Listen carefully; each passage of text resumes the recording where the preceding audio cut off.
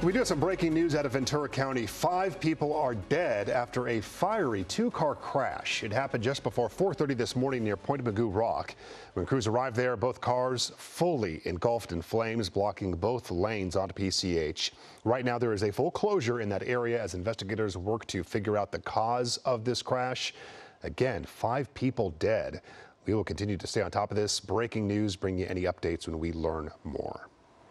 Hello, I'm Mark Brown. Get more great ABC7 content by clicking the subscribe button for our YouTube channel and download the ABC7 Los Angeles streaming app on Fire TV, Android TV, Apple TV, and Roku to watch on your TV.